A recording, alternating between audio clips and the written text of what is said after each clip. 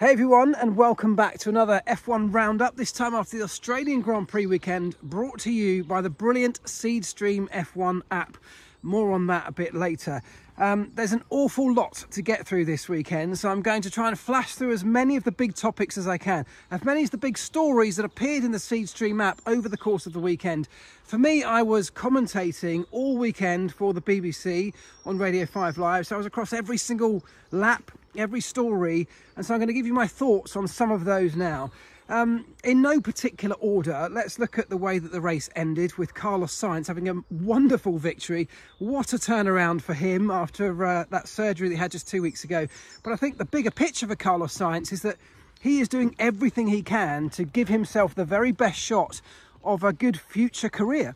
And he's doing that very well, isn't he? If you're Mercedes, you're looking at Carlos Sainz thinking, this is actually a really good option for us.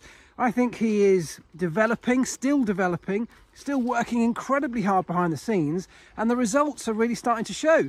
There are a number of weekends now when he has clearly outpaced Charles Leclerc, or at least matched him, on many occasions outpaced him. And I think if you're a, a team, not just Mercedes, but if you're Red Bull, potentially thinking about a post Max Verstappen era, uh, Carlos has been part of that gang before. Could he be an option to go back there again? Who knows? I mean, these are the kind of conversations that will be happening up and down the pit lane. But the point is, Carlos Sainz is driving those conversations. Fair play and well done to him. Let's look at the way the race ended with George Russell sitting on his side in a car having chased down Fernando Alonso. Lots of controversy around this penalty decision. Alonso received 20 second penalties. Lots of comments within the app about this. People on both sides of the story saying Yes, it was the right decision. It was dangerous driving from Fernando Alonso, although the result or the decision from the stewards called it potentially dangerous driving, which was kind of curious. Um, lots of people saying uh, it's a ridiculous decision. This was George Russell's fault. He should have been able to deal with the car slowing. He should have been able to manage that situation. Look, the way I look at this was I think it was fair. I think the decision was fair from the stewards. I think the way they communicated it was slightly odd, a very strange departure from their normal kind of language. But Fernando Alonso was trying to do something to defend his position. I think that's absolutely fair enough. But I think he executed it really poorly and in doing so created a potentially dangerous situation, which is what the stewards called it. George Russell should not, having followed Fernando Alonso lap after lap, knowing what uh, expected of every driver, knowing what they're going to do, knowing what is required to get around this circuit quickly, he should not have to deal with a car slowing dramatically 100 metres earlier than normal. That's the sort of thing that I think you've got a class as potentially dangerous. It's a little bit like a driver trying to defend his position through a corner but getting it slightly wrong and running wide or overtaking offline because he outbraked himself. He was trying to do the right thing. He was trying to do something that was perfectly acceptable but executed it badly. And the result of that execution, that poor execution, was that it created a situation that was dangerous. So I personally think that the, uh, the decision was fair from the stewards. Then we come on to why on earth didn't they throw a red flag when the uh, when the situation occurred? And this was something I brought up in commentary. Immediately I thought red flag, red flag, same as George Russell. Not just because there's a car on its side in the middle of the racetrack, but why wouldn't you? And my question on this is What's the advantage to throwing a virtual safety car? What was the justification behind that decision? Why wouldn't you throw a red flag? Clearly it's safer. It brings everybody to an immediate, very slow pace. The race is over, it's neutralised. There is no competitive advantage, no competitive element to the race the moment that red flag comes out.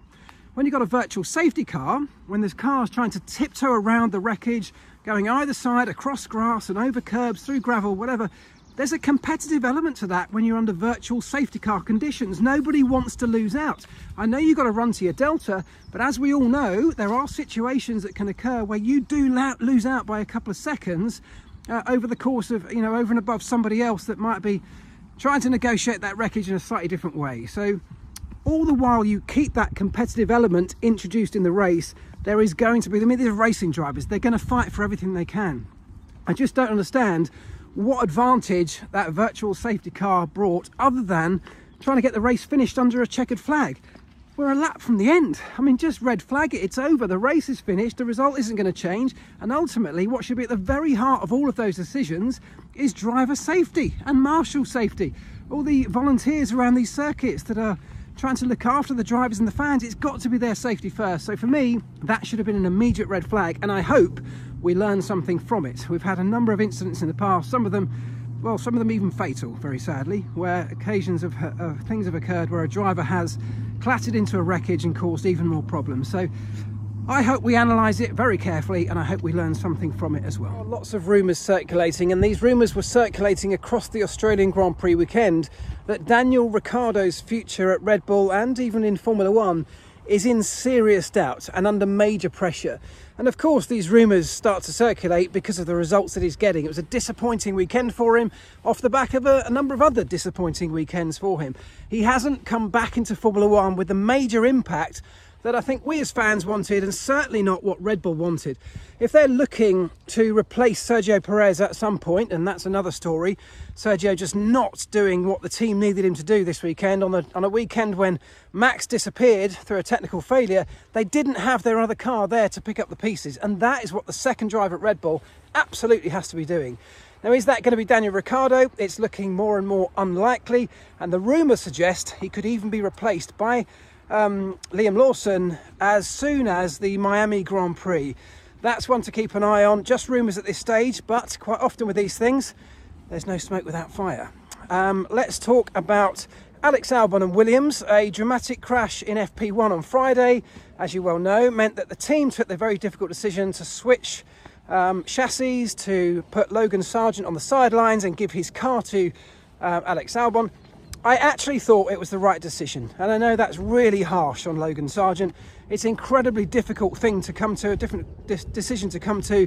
If you're a Logan Sargeant fan, I have no doubt you'll disagree, and there are many reasons to disagree, and I can understand both sides of the argument. But if you're looking at this from a team perspective, and you're looking at it from the perspective of the team principal, you have to make a decision in that scenario in a season where points are so difficult to come by at that end of the grid. That benefits the team. A decision that is the right one for the organization and that was the decision they took. Ultimately it didn't really quite pay off the points did it?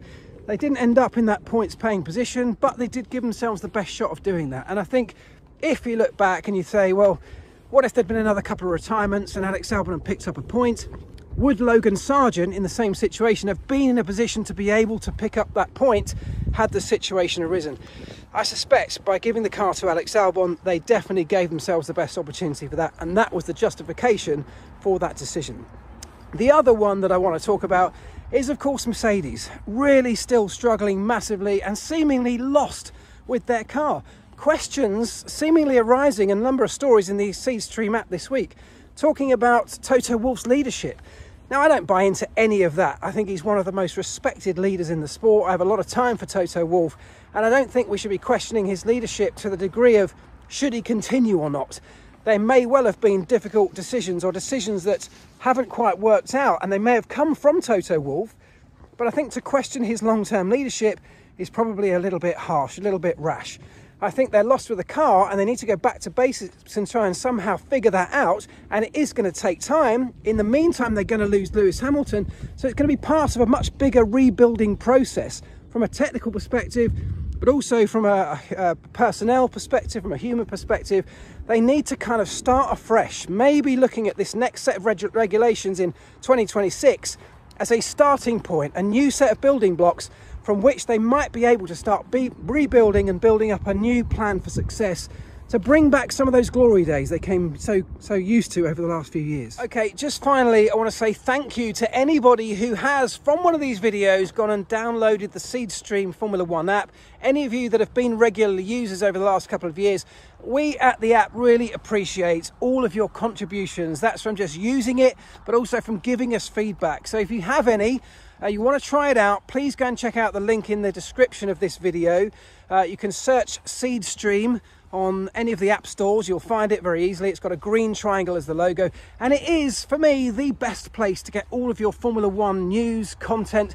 All the videos are put into one simple place for you. So it's really easy to access and to get access to the things that I think as a Formula One fan you really need. I use it every single day. I would love it if you go and check it out and let me know your thoughts. So thank you very much. There is a whole revamp, by the way, of that app coming soon. We're working very hard in the background using your feedback and based on your feedback to update the app on a regular basis with a major revamp, a major redesign coming your way very soon. I've seen early access to it and I can tell you it looks great. Have a great week, guys, and I will see you after the Japanese Grand Prix.